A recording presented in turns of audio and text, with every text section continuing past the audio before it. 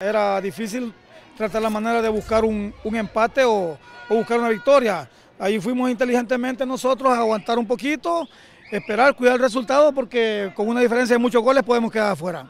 Pero bueno, prepararemos otro jugador para que cumpla esa función ahí atrás y esperamos en esta otra fase hacer una mejor presentación porque los últimos dos partidos no lo hemos hecho de buena manera.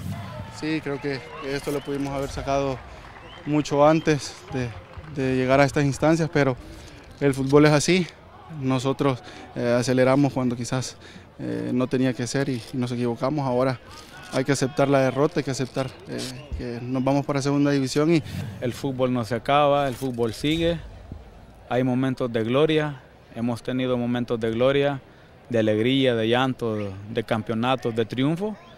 Y hay momentos de tristeza, hay momentos del que estamos pasando ahorita pero la gente se ha dado cuenta que acá nosotros luchamos hasta el final. Águila se dejó ganar en los últimos minutos, pero como te vuelvo a repetir, aquí no es culpable Águila, Dragón, aquí los culpables somos, somos nosotros mismos por no sumar en las fechas anteriores.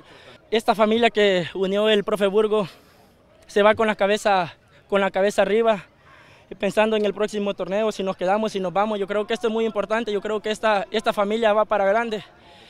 Y lo más importante es darle gracias a Dios por todo. Es descendimos, pero Dios sabe cómo lleva su propósito.